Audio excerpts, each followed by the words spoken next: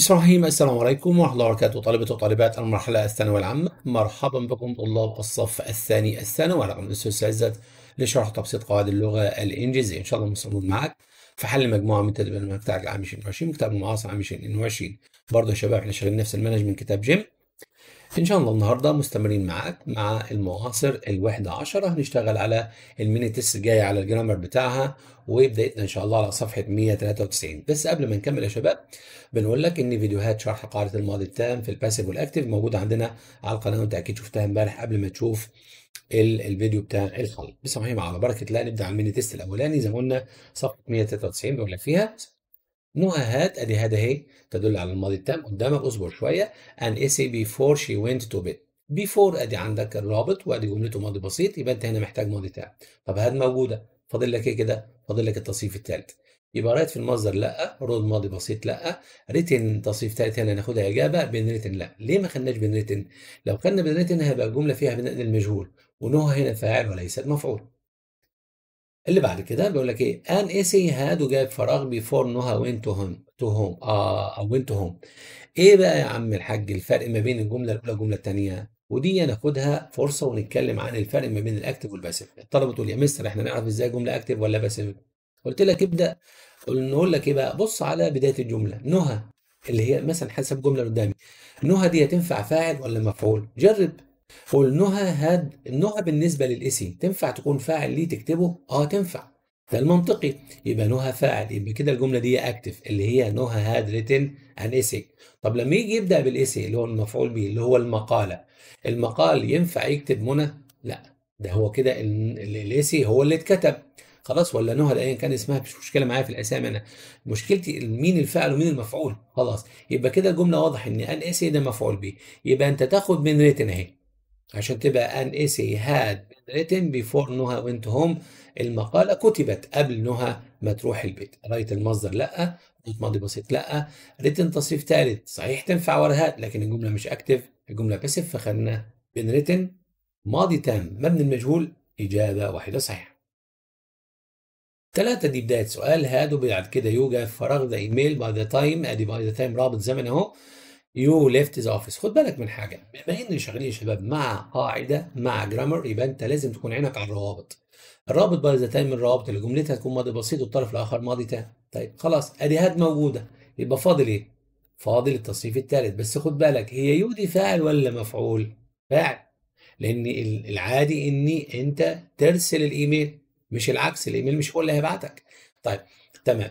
يبقى had you sent the email by the time you left the office كده الكلام صح كده ماضي تام.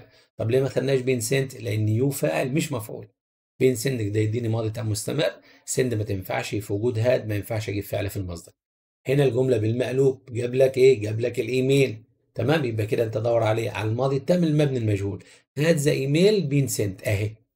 عشان يبقى جملة ثلاثة وجملة أربعة بيوضحوا لك الفرق ما بين ال active وال passive في الماضي التام وعندك برضو زي واحد واثنين واحدة فيهم active الأولى active والثانية passive ودي زي الثلاثة active وأربعة passive وهما الاثنين في زمن الماضي التام سواء ال active ولا ال passive طب نحرك الشاشة نوريك اسم الكتاب بس لحظة كده شفته؟ تمام تعالى نتحرك مع ال mini test الثاني وده في الصفحة اللي وراها مباشرة أهو ظهر قدامنا وبيقول لك في أول جملة فيه by the end of last January بحلول نهاية يناير الماضي. تمام. I بقى taken the mid year exam.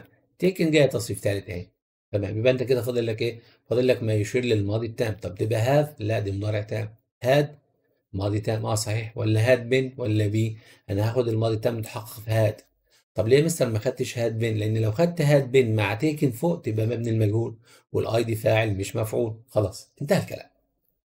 بقول لك by the end of last January ها كمل ها اصبر ها the mid آه غير الكلام. فوق كان جايب ال I كفاعل لكن هو جايب المفعول به اللي هو الامتحان. يبقى هنا هو دي had been taken الامتحان كان اتاخد. خلاص كده؟ طيب اللي بعدها as soon as I اصبر بقى ها the report I كده فاعل ولا مفعول؟ المنطقي إن أنت تكتب ال report صح كده؟ أو تقراه حسب الاختيارات فيها يقرأ. تمام. I knew it was it was great. يبقى أنت كده عايز الماضي التام العادي أهي يبقى هاخد had read تمام؟ طب دلوقتي جاب لك ال report والمفعول به بدأ بيه يبقى انت كده عايز الماضي التام المبني المجهول يبقى had been read اهي. شفت إزاي؟ الحكاية سهلة جدا اسهل من شرب المية زي ما بيقولوا. طيب my brother had returned home اهي ماضي تام متحقق هنا. lunch time الله يبقى انت كده عايز رابط زمني مش عايز آه، جم... زمن ولا حاجة. طب كده تبقى at ولا in ولا by ولا after by by lunch time معناها بحلول وقت ال- ال- الغداء. هو عايز تعتبرها before مش مشكلة تزعلش يا سيدي.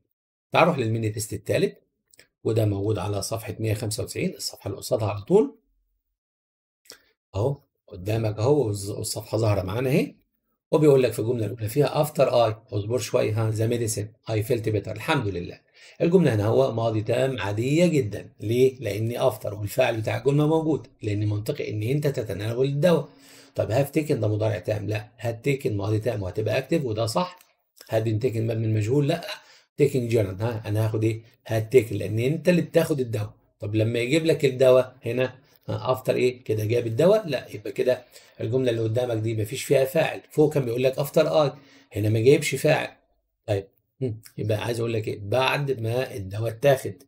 تمام كده؟ بعد ما الدواء اتاخد يبقى انت كده محتاج إيه؟ محتاج gerund يبقى أقول have taken مضارع تام ما يجيش مضارع تام مع after طيب ماشي ها؟ had taken after had taken طب فين الفعل اللي خلاك had had taken had been taken مبني المجهول taking ال gerund لما تيجي جملة after بدون فاعل يجي بعدها gerund مباشرة يعني مصدر زائد ing ويحقق الطرف الماضي التام والطرف الثاني بيديك الماضي البسيط أهو. I felt better طيب هنا بقى جاب المفعول به قبل النقط اللي هو ال medicine. يبقى انت كده عايز مبني للمجهول. عشان تبقى after the medicine had been taken بعد أن أخذ الدواء. أنا شعرت بتحسن الجملة رقم ثلاثة تديني بناء للمجهول.